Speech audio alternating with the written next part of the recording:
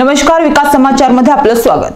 केळवा सागरी पोलीस ठाण्यात कार्यरत असलेल्या एका पोलीस कर्मचाऱ्याने प्रेम संबंध प्रस्थापित करून फसवणूक केल्याचा आरोप आरोप करून एका महिलेने केळवा सागरी पोलीस ठाण्याच्या आवारात विष प्राशन करून अधिकाऱ्यांचा लक्ष वेधण्याचा प्रयत्न केला. मनोर परिसरात राहणारी ही महिला विवाहित असून तिला तिच्या पतीपासून अपत्य आहे. टाळेबंदी दरम्यान हा पोलीस कर्मचारी मनोरटेन नाका परिसरात गस्तीसाठी तैनात होता. या दरम्यान या पोलीस कर्मचाऱ्याची या महिलेशी ओळख झाली. त्यानंतर प्रेमसंबंध निर्माण झाल्यामुळे या महिलेने पतीला सोड चिठ्ठी दिली आणि मनोर सोडून केळवे येथे राहू लागली. मात्र या पोलिसाने आपली फसवणूक केल्याचा आरोप तिने केलाय. या संदर्भात पोलिसांकडे तिने तक्रार केली. मात्र त्यांनी सहकार्य केले नसल्याचा आरोप तिने केला आहे.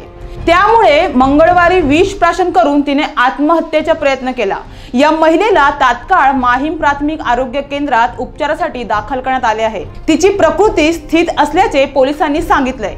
महिलेच्या तक्रारीची नोंद करून संबंधित कर्मचाऱ्यावर गुन्हा दाखल केला जाईल अशी माहिती केळवा सागरी पोलीस ठाण्याचे पोलीस निरीक्षक मानसिंग पाटील यांनी दिली आहे तुम्ही पाहत राहा विकास समाचार ध्यास ग्रामीण विकासाचा. नमस्कार.